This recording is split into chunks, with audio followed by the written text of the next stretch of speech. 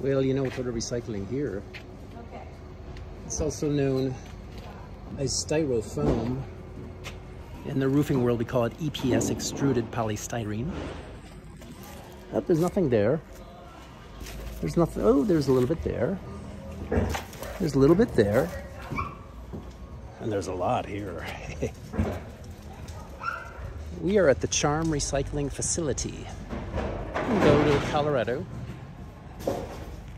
where they recycle all kinds of things. For instance,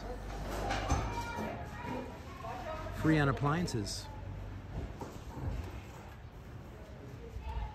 Now, can I pronounce this? Electrodomes Sticos Confrian, that's uh, Spanish. Small scrap metal, and everything you can imagine here at Boulder Charm.